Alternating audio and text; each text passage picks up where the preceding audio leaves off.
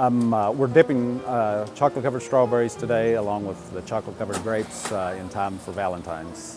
What makes our strawberries unique is we, uh, we hand dip every strawberry. We will do about 30,000 in three days. So we will hand wash and then we will hand dip in the uh, milk chocolate and we do some white chocolate as well. We leave a little bit of the uh, strawberry exposed and then we strap those with white chocolate and just makes a real appetizing looking strawberry. And the berries that we get are really delicious. Uh, they're out of California.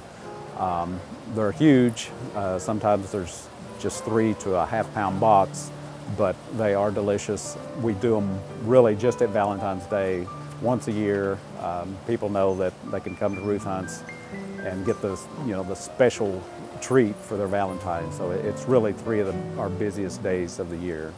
We're approaching our 100th year anniversary coming up next year, so we're excited about that. We are working this year to plan some events and some, uh, you know, things that we have come out with, and we'll make some announcements later. But uh, you know, we just like to say thank you to the community for supporting us for nearly a century and it just verifies that we're doing something right and you know we continue to just adhere to the uh, founding mother actually in this case Ruth Hunt of just you know producing the best candy using the best ingredients and you know we're just proud to be part of it and continue the legacy that was started a century ago.